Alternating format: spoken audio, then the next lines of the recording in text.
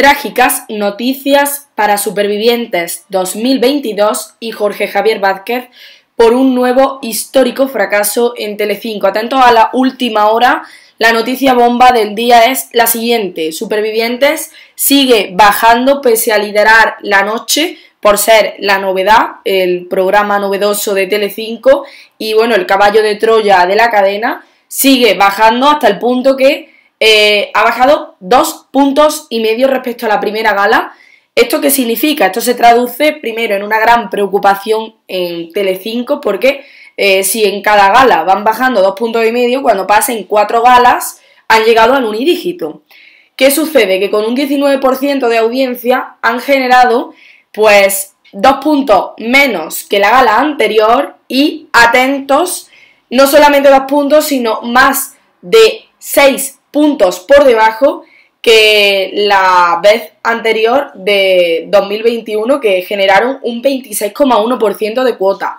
Ahora han llegado a un 19,4% y esto todo está atribuido a Jorge Javier Vázquez, a la docuserie de Rocío Carrasco y a que van a implementar cambios si la cosa sigue así en Supervivientes con el, bueno, apartar de manera inminente a Jorge Javier Vázquez y darle mayor protagonismo a Ion Aramendi, que generó un muy buen dato de audiencia el pasado domingo, ya que, como sabéis, pese a ser domingo, el debate, que no era ni siquiera la gala de supervivientes, pues fue vista eh, la gala mm, por las mismas personas que, que el jueves. Entonces, ¿qué significa esto? Esto significa que en la dirección de Telecinco, de Mediaset, hay una preocupación extrema porque no es lógico que un reality show, a medida que pasan las semanas y los capítulos, vaya perdiendo seguidores en lugar de generar más adeptos.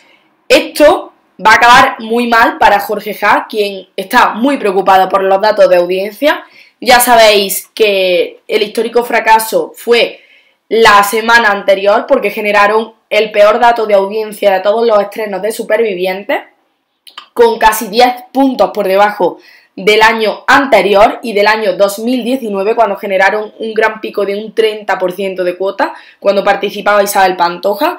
Y ahora, ¿qué es lo que nos encontramos? Ahora nos encontramos un programa que cada vez tiene menos tramas, que cada vez la gente se cree menos y que cada vez está teniendo menos audiencia. Entonces, mm, esto de cara a los contratos publicitarios es un problema muy grave que pinta fatal si tenemos en cuenta que, ya os digo, la primera gala del año 2022 genera un 21,7 de cuota que es irrisorio frente al 30,3 que generaron en el año 2021, pero es que la segunda gala baja todavía más a un 19,4 frente a la gala eh, primera un 26,1%. Entonces, mm, yo creo que las cifras son bastante evidentes que hay una bajada tremenda de audiencia respecto de un año a otro y una bajada respecto de la primera semana a la segunda, que es precisamente lo que os advertí, que la gente pues ve el programa por decir, bueno, esta es la novedad y luego se encuentran pues con un nuevo ricos, que es lo que estamos viendo.